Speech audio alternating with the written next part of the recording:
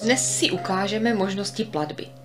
Portál občana města Moravské Budějovice nabízí možnost zaplacení poplatku za psa nebo uhrazení poplatku za odpady. Po přihlášení vidíte na úvodní stránce sekci Moje poplatky, kde máte rychlý přehled poplatků. Můžete využít pro klik přes tlačítko Přejít na poplatky nebo naleznete poplatky v levém menu. K placení poslouží položky poplatky nebo chci zaplatit. Položku poplatky využijete, pokud budete hradit poplatek za sebe. Chci zaplatit slouží k platbě, kterou budete provádět například za rodinného příslušníka. K tomu potřebujete znát variabilní symbol, který si můžete vyžádat na pokladně městského úřadu. Jako první si ukážeme položku poplatky. V horní části vidíte souhrn poplatků po splatnosti a před splatností.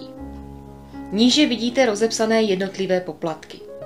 Vidíte zde název poplatku, stav poplatku, jestli je poplatek vyrovnán, není nebo je placen jinou osobou. V dalším sloupci vidíte částku celkem. Zde je uvedena částka, která je po splatnosti. Proto je zde nula, i když se má zaplatit poplatek 800 korun. Tato částka by se zde objevila až den po datu splatnosti. Datum vidíte ve sloupečku splatnost. Pokud vidíte datum splatnosti, máte zde poplatek před splatností. Ten můžete uhradit pomocí posledního sloupečku, kdy kliknete na tlačítko Zobrazit. Poté se otevře stránka s konkrétním poplatkem. V horní části vidíte souhrn informací k dané platbě a iniciály poplatníka. Naleznete zde také variabilní symbol dané platby. Níže je zopakovaná částka k platbě a tlačítko Zaplatit. Pokud chcete provést platbu, klikněte na tlačítko Zaplatit.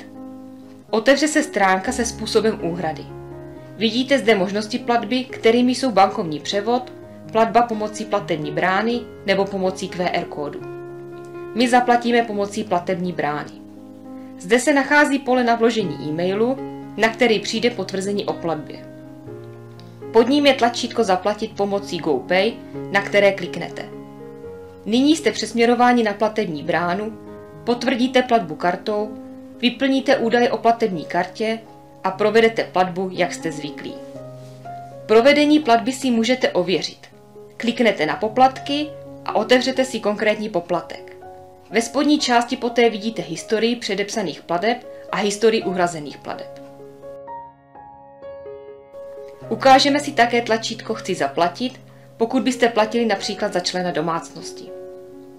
Po kliknutí se otevře stránka s polem, kam vložíte variabilní symbol, který jste si zjistili a zaškrtnete pole Souhlasím s předáním osobních údajů.